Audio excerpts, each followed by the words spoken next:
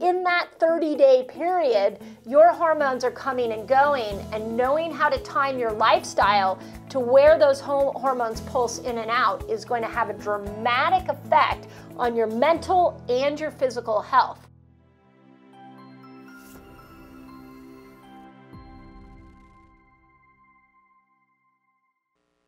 On this video, we're going to be talking about hormones and how to match your lifestyle to balance your hormones. And the topic is complicated, I know, so I'm doing my best to keep it simple.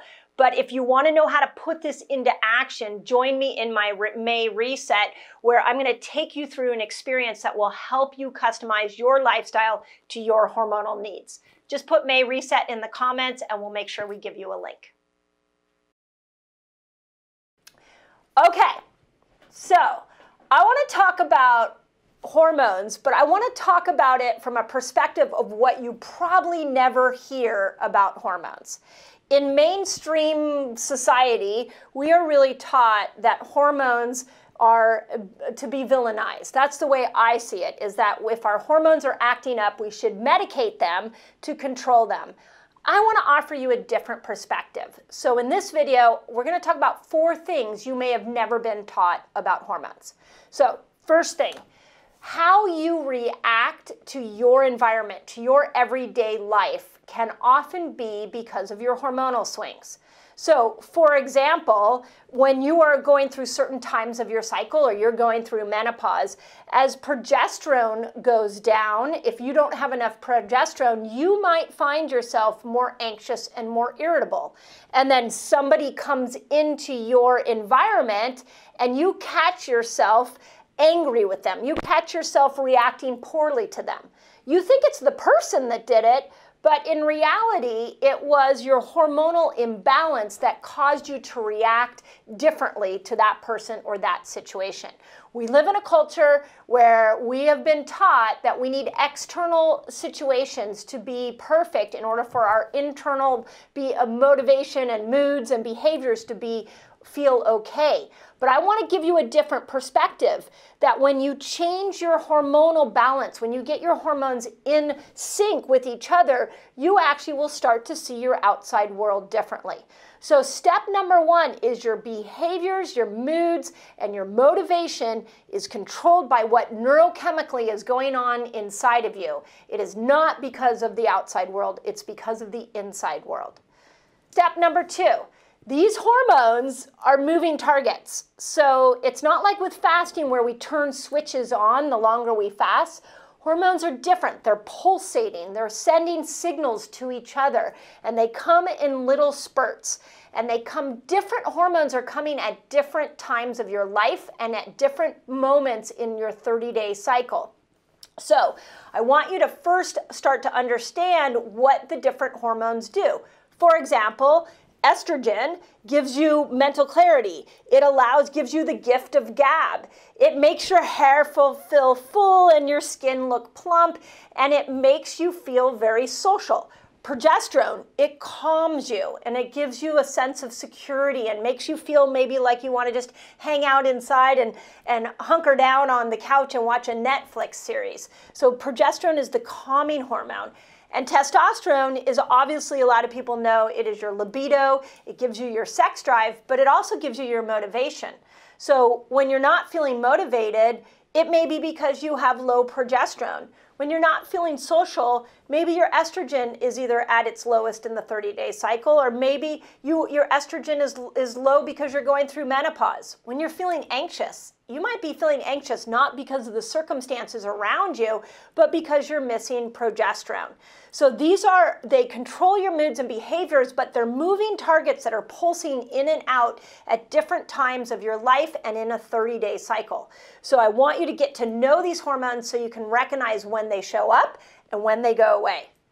Okay, number three, point number three that I want to make to you is that your hormones are dictated by your lifestyle. And there are five things that will dictate your lifestyle or your hormone your hormonal impact on your lifestyle. So these five things you want to keep in, in sync, and I wrote about them in the menopause reset. One, when you eat. We talk about fasting all the time on here.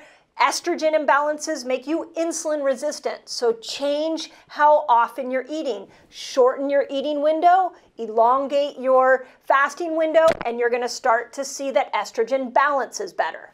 Second thing is all, the carbs that you are eating. Where there's a common uh, phrase that's becoming quite popular right now called carb cycling. When you cycle in and out of different carb load days, mix that with some keto days, and then you mix that with some protein load days. When you do this type of variation, you can start to balance not only testosterone, but you can balance progesterone and estrogen. Step number three is that just because you are making hormones doesn't mean that you're using hormones. So you need to have your liver and your gut be nicely eh, healthy and balanced so that you can break these hormones down and get them into the cells so you can use them. Number four point of your lifestyle is that your toxins matter. So when you lather your face up with beauty products that are high in estrogen, you start to throw your estrogen balance off, and now progesterone starts to tank. And you start to see a, a change in the sex hormone effects in your body. And then number five is my favorite one to quote. It's called the rushing woman syndrome. Dr. Libby Weaver uh, is the one that coined this term, and that is what stress is doing to affecting all of your hormones. So once you see that your behaviors and your moods and your motivation is a hormonal issue, and you start to see that these hormones are pulsing in and out, the next step is to go, okay, my lifestyle is going to either encourage these hormones to show up at the right time or it's going to tank these hormones, which is going to leave my behavior and my moods in a worse place. Which brings me to my last step, step number four, that you are going to want to create habits and your lifestyle around what your hormonal needs are. If you're a woman that has a 30 day cycle, you get estrogen in the first half of your cycle. So go into more fasting, go into more keto in the first half of your cycle. You will maximize estrogen. When you go into ovulation in the middle of the cycle, you've got a ton of estrogen, but you got to use it. So eat more foods that are probiotic rich and polyphenol packed so that you can feed that microbiome so it can start to break down estrogen. You've also got a lot of testosterone in that middle ovulation period. This is a great time to start a workout plan or to start lifting weights to build muscle because testosterone comes in in spades. And then at the back half of your cycle, the week before your period, you need to make progesterone. This is when you got to chill out. This is when you got to keep stress at bay. This is when you're going to need to nurture yourself a little more. So, in uh, for an, a woman with a regular cycle, in that 30 day period, your hormones are coming and going, and knowing how to time your lifestyle to where those hormones pulse in and out is going to have a dramatic effect on your mental and your physical health. So uh, the, the most important thing is to be aware of what these hormones are doing for you.